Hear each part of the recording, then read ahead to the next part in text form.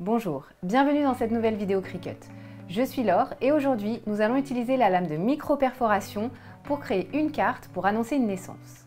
Avant toute chose, n'hésitez pas à vous abonner à la chaîne Cricut France pour retrouver d'autres vidéos. Allez, c'est parti Ce projet est de niveau débutant et il vous prendra à peu près 30 minutes. Pour ce projet, nous allons utiliser la Cricut Maker 3. En effet, c'est la seule machine sur laquelle vous pouvez utiliser la lame de micro-perforation. Nous allons également utiliser deux feuilles de papier cartonné de différentes couleurs, un tapis d'adhérence standard, une lame de micro-perforation et ici une lame à pointe fine premium. Nous aurons également besoin de feutres. Ici, nous avons notre projet sur la toile. Comme toujours, vous le retrouvez sur notre profil Cricut France dans Design Space. Comme vous pouvez le voir, nous avons nos différents calques. Ici, la découpe de la baleine. Ici, deux lignes de rainage pour plier votre carte. Ici, la perforation, puis les motifs que nous dessinerons avec le stylo. Nous appuyons sur Créer. Ici, nous allons être sur un tapis. Ici, nous voyons le placement de nos feuilles sur le tapis.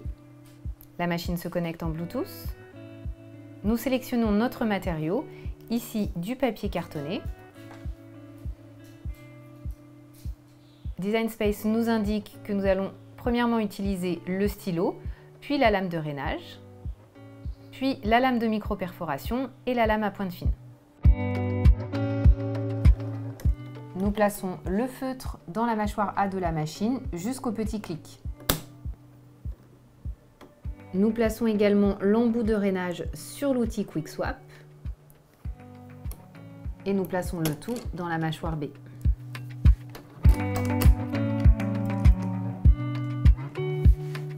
Nous sommes prêts à lancer la découpe. La machine raine puis dessine. Elle va ensuite micro-perforer, puis découper. Nous procéderons au changement d'outil à chaque opération. Je vais donc enlever l'embout de rainage, puis placer l'embout de perforation. Je replace le tout dans la mâchoire B et je relance.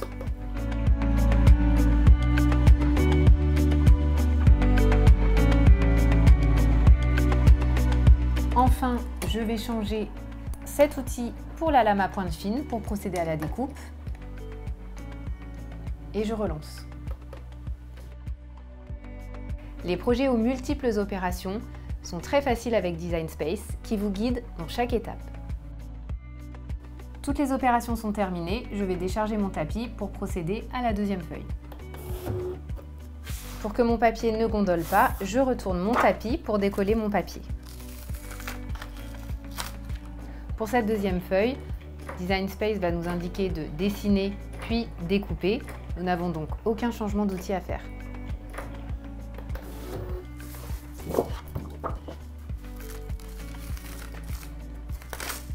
Je replace bien la pellicule plastique sur mon tapis pour prolonger sa durée de vie.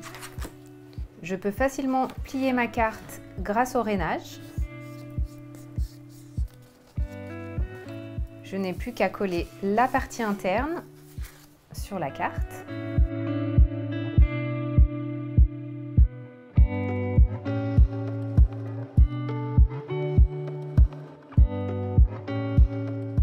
Notre projet est terminé. Comme vous pouvez le voir, la lame de micro-perforation a créé des pointillés de découpe pour fabriquer une fenêtre qui nous permettra de dévoiler le sexe du bébé.